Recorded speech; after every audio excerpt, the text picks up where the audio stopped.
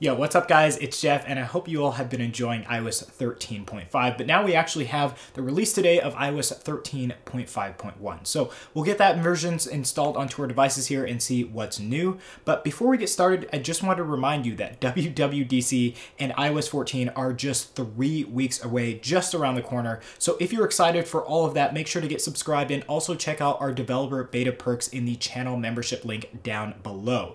There's access to exclusive wallpapers, live streams, giveaways, and more. So go check it out in the video description. Okay, so let's break down some of the finer details here of iOS 13.5.1. The build number is 17F80. Total size for my iPhone 11 Pro Max was 77.5 megabytes, and the modem firmware has stayed the same at 1.06.00. Okay, so if we take a look at the release notes of this update, Apple clearly states that this is a new version of iOS that provides important security updates. Now, this is super vague because it doesn't tell us anything about what is actually being upgraded, but given the update size, I'm guessing that there aren't any new features or major changes in this update.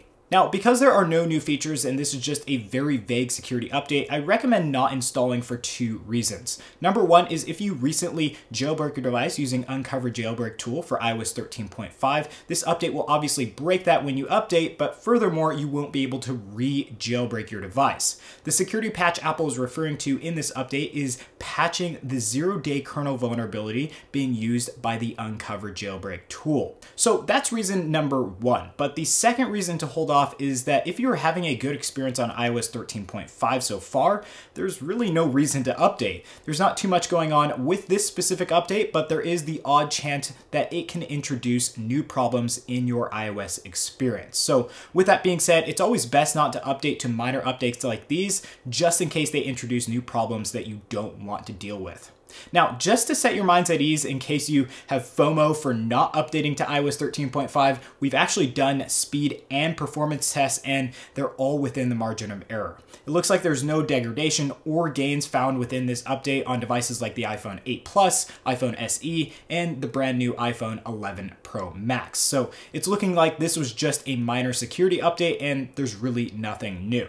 Now, I know no new features or major changes is kind of disappointing, but just keep in mind that we will be seeing the iOS 14 beta in just three weeks from today. So Apple is most likely working very hard on that process and they won't be focusing much on iOS 13 anymore. In fact, I do expect more of these smaller updates to iOS 13, but as I said in our iOS 13.5 video, that version was likely the last major version of iOS 13 that we'll see as iOS 14 takes priority now.